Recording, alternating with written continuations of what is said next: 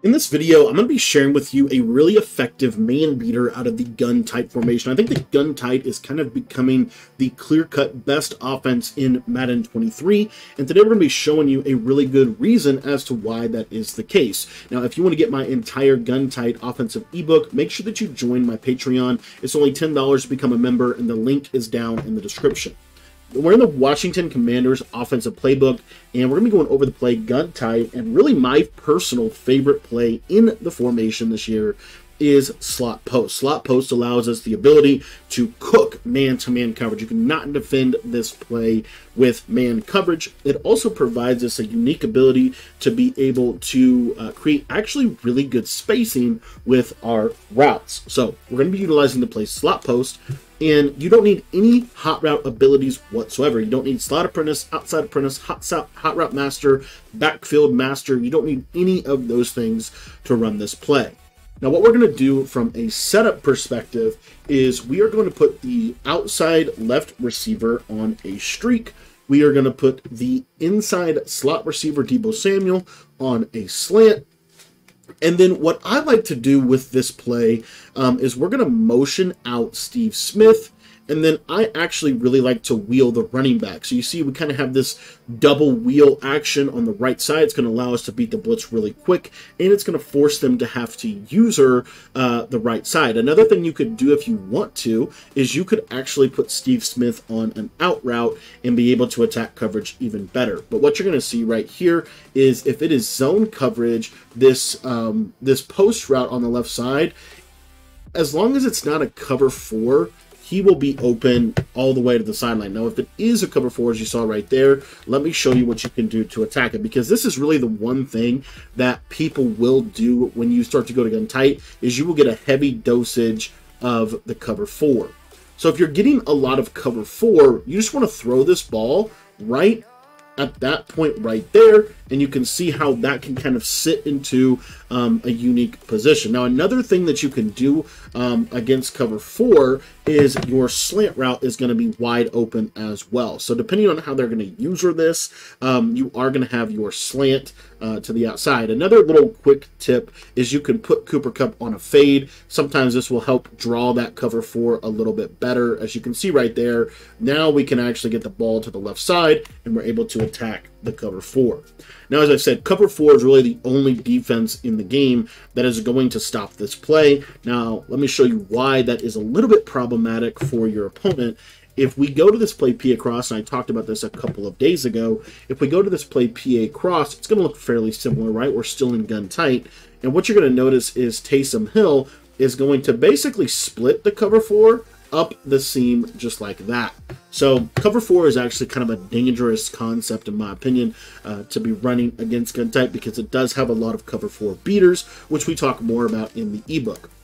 But uh, this play is really uh, designed and very powerful against man coverage. So I'm going to show you this against man to man. So we talk about man coverage, a couple things with tight. Really, this running back route is one of the better routes in the game. You see it can beat right there, but this post is so good. It is probably the best man beater. Um, it's at least a top five man beating route in this game. So you see there, we're able to attack um, man-to-man coverage with that.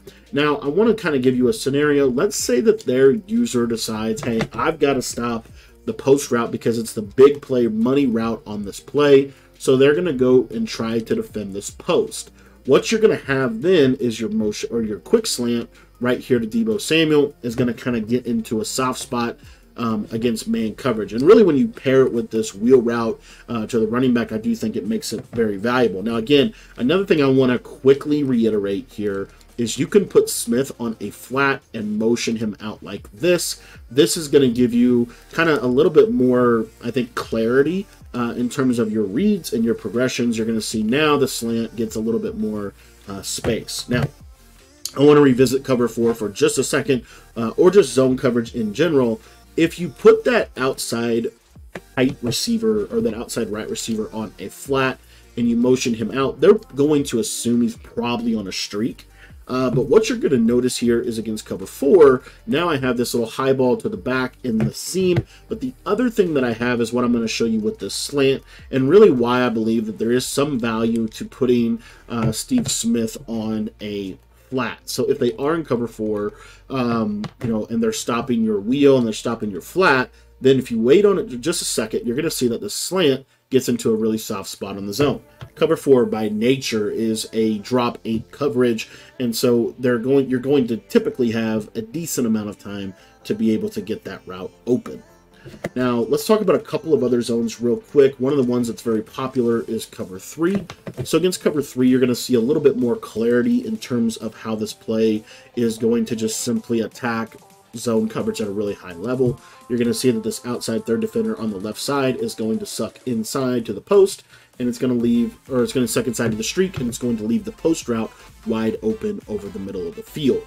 Now, again, let me talk about zone for just a second. If they decide that their user needs to go defend the post route, then what we're going to see with this play is you're going to notice that now my slant gets into a really interesting position. You're going to see here that my slant route late in this play is going to get open just like it does against cover four. Really, really good little route. And the last coverage that I want to go over with you today is cover two.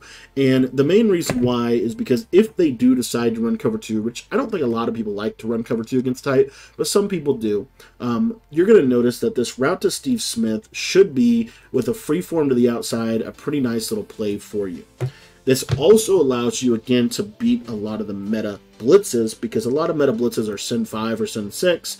So in this example here, when we motion when we motion Steve Smith out, not only is he in a one-on-one scenario, but now they're really out leveraged to defending this running back quick throw, which is an incredible piece of this play. So if they blitz you, typically your running back's going to be wide open to the flat, and then you also have your slant post concept over the middle of the field.